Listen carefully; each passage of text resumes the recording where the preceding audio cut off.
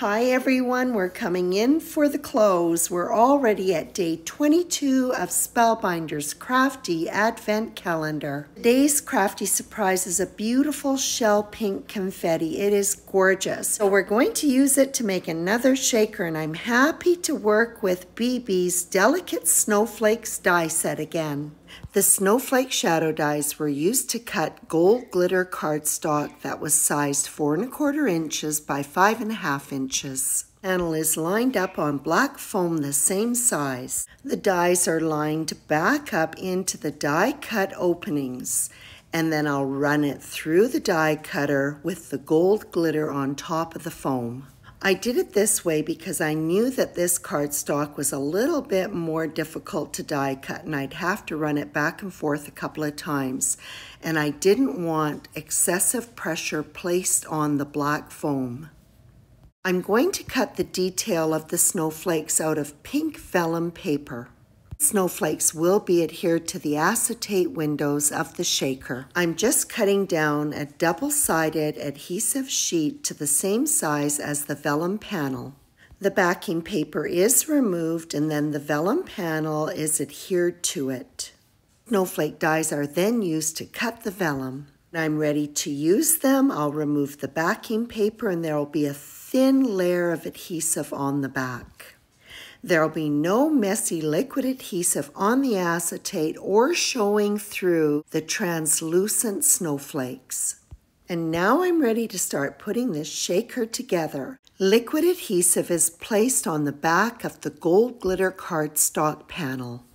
Although I am making sure that the liquid adhesive is applied around the shape of each of the snowflakes, I am leaving a little bit of room around that die cut edge so it will not ooze out onto the acetate.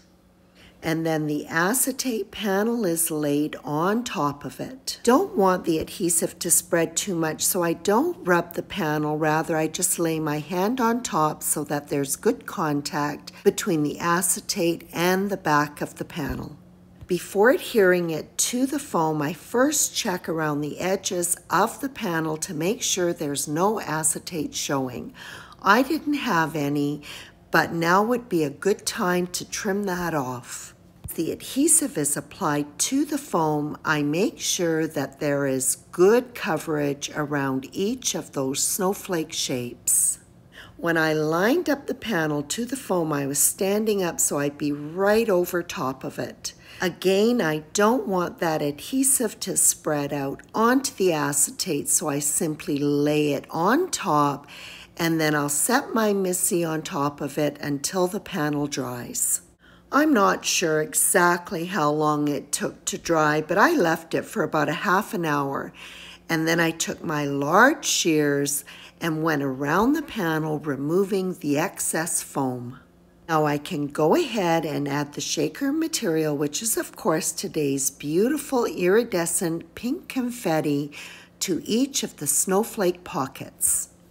And I love the sound when there are seed beads added to a shaker. So I'll add these pretty gold ones in. So now I can go ahead and add the liquid adhesive to the foam and I'm making sure that I am being careful so that the shaker material does not come out of those snowflake pockets as I'm applying the glue. Again, I make sure that I'm going around each of those snowflake shapes. The shaker will be backed with a panel of black cardstock that again measures the same as the shaker, four and a quarter inches by five and a half inches. Ensure that it is aligned. I get my head right in there, as you can see. Again, I'll pop my Misty on top and let that adhesive dry. Now I'm ready to pop on the pretty vellum snowflakes onto the acetate windows. After the backing paper is removed, I basically have a sticker and I can center it in the middle of each of the snowflakes and then rub it down onto the acetate.